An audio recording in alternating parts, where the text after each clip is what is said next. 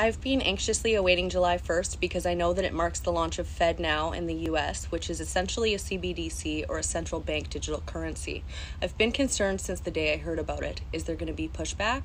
Are Americans just going to hop on it without a fight? If you've been paying attention, you may know that Canada, the US, and Mexico signed a treaty called the Declaration of North America, or DNA, in January. So, my American brothers and sisters, it seems we share more than just a border. Usually, things that happen in the States end up coming here to Canada as well.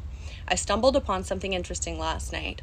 I heard about the WHO signing an agreement with Europe to adopt their vaccine certification method that was used during the pandemic. This was announced early June. I was wondering when we were expecting this to come into play. I checked, and the date it begins is also July 1st.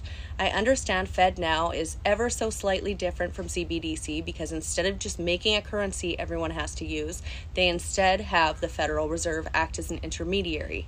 But it's the same concept having your currency tracked and controlled by the state. And sure, they said, or maybe they'll say it's optional, but they're just gauging if they're going to be met with enraged citizens. It's always optional until it isn't. Notice how strange it is that they would choose to roll out a CBDC type pilot program on the exact same day they begin implementing a worldwide digital ID. Oh, yeah, you know what else July 1st is? Canada Day. Except we aren't supposed to call it that or celebrate it anymore because that's how messed up this country has become. If you're still here with me, I have a plea for you.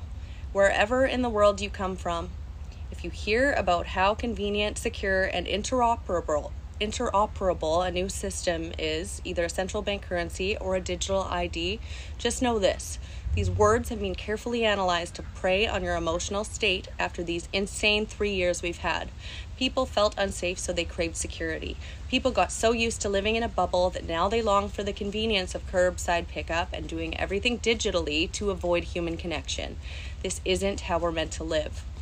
Interoperability hints that you will lose sovereignty and the world will be ruled by, a, by one global power. These words are code for surveillance and control. Think about what your government has done for you lately and then ask yourself if they deserve your trust. If they're able